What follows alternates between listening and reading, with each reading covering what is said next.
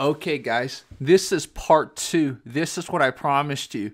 So, Qilala and a few boxers have been testing it out. There was so much footage that I had to break it up. So, this round is just boxing.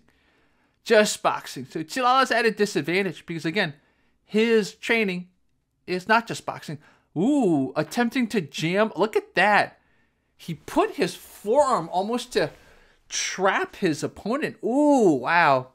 So Qilala's connecting with some short range punches, but I think he's oh, that was a great punch right down the center line. Um another great punch down the center line. The boxer is hitting him with more looping punches though. This is the problem. If you're going to fight this way, you might hit him with more volume, but he's going to hit you with a little bit more force Qilala trying a little bit of a helmet block there. Oof, ouch. Ooh, Qilala is not doing the best for his brain right now. Although this is very impressive that he's managing to land certain parries and certain traps and certain punches. Oof, ouch. He left his face wide open for that one. So, obviously, I think if you're going to take part in a boxing match against a boxer and you're going to use Wing Chun, you're probably at a disadvantage, but Qilala's still making it work. Not the most effective use of Wing Chun, but way better than any other Wing Chun guy that's tried to go against boxers in the boxer's game. So look at that. Qilala still with his hands down, and what are you doing, Qilala? And oh, Qilala almost oh Qilala left his ribs open. Look at that. Chilala has evidence on his face that he has been hit a little bit, but wow, he's connecting with some really great looping punches too. Those are more looping punches that you could see in Xingyi Liuhe Quan. So he's not that kind of different type of framed hook that you saw. That's a more Xingyi Liuhe Quan type of boxing style than it is Wing Chun. And guys, I'm not saying Wing Chun doesn't have hooks. It's just that Qilalas told me explicitly that his hook comes from Xingyi Liuhe Quan. So great little punch on the exit that Qilala did. Dude, both of them are going to regret this tomorrow. Both of them going to have headaches, man. Oof, ow. Qilala, why would you leave your face open, man? Ooh, great back fist. And a few more seconds left in this boxing round. There's going to be some ground fighting too. So we're going to see that. Ooh, Qilala had his left hand up and it protected him against a hook earlier. This is why you got to have your guard up, man. There you go. You see that? Have your left hand up. More more hands up, Chilala. So, ooh, nice, nice non-telegraph punch, right? Um, Bruce Lee was really into that with the JKD non-telegraph punch. A lot of his students were really good at that. All right, guys. If you notice, they've switched on to smaller gloves. This is going to be MMA rules, man. Man, I love what Qilala's doing. A lot of you are like, why do you favor him so much? It's because he's putting himself out there, man. If you guys want to get the fight commentary breakdown treatment, then put yourself out there. Look at this. Ooh some of the lopsao, I believe, that we never see Wing Chun guys do. He did it. Although they were sort of slow. But oh, Qilala got him. Oh, Qilala's getting him. Qilala's getting him with oh, this is amazing. Wow. Uh oh, uh oh, uh oh. It's ground time. Ground time, Qilala. Can you oh uh oh, uh oh. So Qilala's learned a little bit of jiu-jitsu. So unfortunately, we're not gonna see too much Wing Chun here. This is more just jiu-jitsu, anti ground and pound training. Uh, Chila's pretty good at. Okay, so this is kind of King of Dragons type of rules 10 seconds on the ground. I really think they should change it to 15 seconds, man. It's a little bit unfair to the grapplers for just 10 seconds, but it's okay. Because in a real fight, right, you probably only want to be on the ground for 10 seconds. Too many X factors if you're on the ground for too long. Oh, ouch! Qilala ate a pretty good jab Oh, nice. Qilala parried and framed some of those. Oh, that was a little hook kick that our boxer threw. I think this boxer has some karate training too. Woo! Great little punch on the exit by Chilala. Oh, a little trap or a little um what do they call it? Like a like a pocket frame. No, no, not a pocket frame. I don't know the term. Sorry, I'm not very good with Wing Chun terms because they're all in Cantonese. I don't know my Cantonese, but look at that, guys. You see Wing Chun here. He's obviously trying Wing Chun and a little bit of Xingyi Liu He Quan. So this is not like where the Wing Chun guy doesn't do any Wing Chun, right? Qilala is literally putting his face at extra risk to show us some Wing Chun. wow. Wow. There we go. That was oh ow oh Qilala's head hit a little bit the mat. Ow ow ow. Oh man. He was okay with his sprawling for a little bit. I think he got a little bit too confident. Him trying some guillotine. Oh man, I hate when the oh uh, he ate one good punch from the top.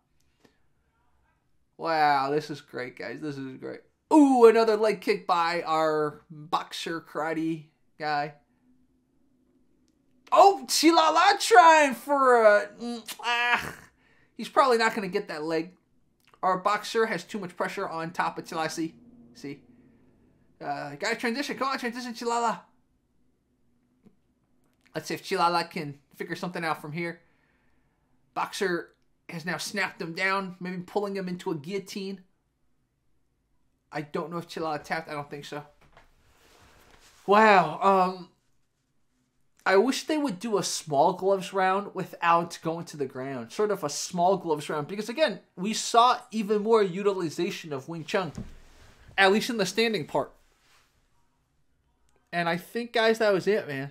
That was it. How is that, man? How is that? I think we probably need to watch this in slow motion. Initially, Qilala has his guard up, right? And then there's a moment here where Qilala tries a frame and he pays for it by eating two punches right here. One, an uppercut and an overhand. So this was a cool part which Lala see he sticks to him. He sticks to him. You see that? Oh, and a good little short range uppercut there too. He kind of punches and sticks his punch.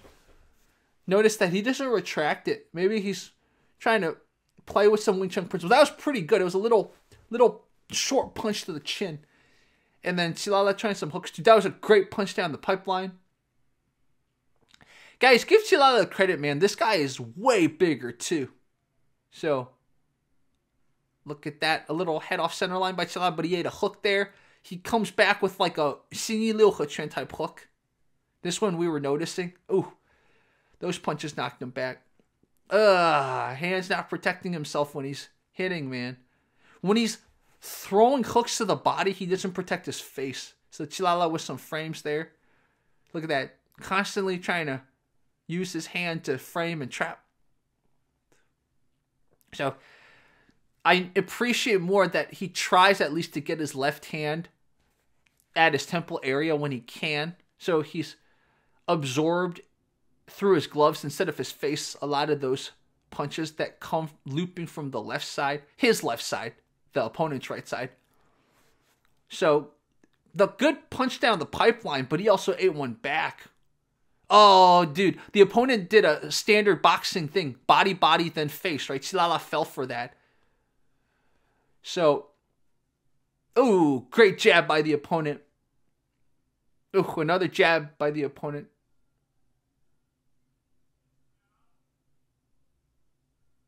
Let's see good little. That was almost like a trap and hit. It was it was almost bouncing off the opponent's hand to hit. So you see boxers do that too, but I don't think he learned that from boxing.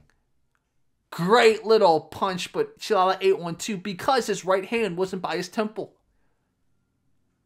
Oh, great back fist. Another good back fist by Qilala. So that was great little. It was a, a cross to a jab or cross to a lead hook. Qilala, I like that I've been noticing the left hand is closer to his temple more. That's a really good modification. Oh, look at that. Him. uh, that was pretty good. Sort of using all these feints of body hooks and then hooking to the face. Look at that. Another framing that worked in his favor. He framed with his right hand. I think I'm learning some really cool stuff from Qilala. If you're going to frame you better almost off balance your opponent too. So you're framing at an angle. It's really interesting to see this. Qilala leaving his face open. Oh, great angle of back fist. There you go. His opponent has the high guard. There you go. Qilala trying to use his face to telegraph, or trying to use his face to bait the opponent. Good. See, you see the left hand, Qilala's left glove being there, protecting. Qilala's probably saved himself from at least five right hooks because his left hand has been there. But his right hand, man, sometimes needs to attach to his face a little bit more. Nice punch. I remember that punch from watching it in full speed. And this is the end of the round. Final jab by the opponent. Now let's watch the MMA round in slow motion.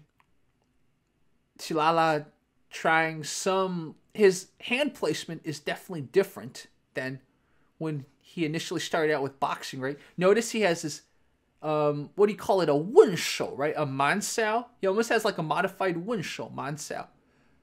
So this was when we noticed, I guess you would call that Lopsao? I don't know what the Cantonese word is, so you Wing Chun purists, let me know. You know, Wing Chun Pierce might still say, okay, despite this great demonstration of Wing Chun, Wing Chun Pierce might still say there is no Wing Chun, okay? You guys get off my channel. Unsubscribe, get off my channel, please. It's just annoying. Like, Qilala's putting his brain on the line to try to prove Wing Chun, and we still have Wing Chun people being like, that's not real Wing Chun. You guys do what Qilala's doing here. You guys go up against a guy that has like 300, did I say 300? 30 pounds on him. So this is just a jujitsu, right? You you put his bicep at your knee area so you can control his punches. So this is just standard jujitsu, anti-ground and pound MMA type of stuff. So here we go. Watching this stuff just makes me so happy. I really, really enjoy pioneers, man. And I encourage all of you guys, man, do it safely. So that was a little bit of hand fighting, standing hand fighting. I love it.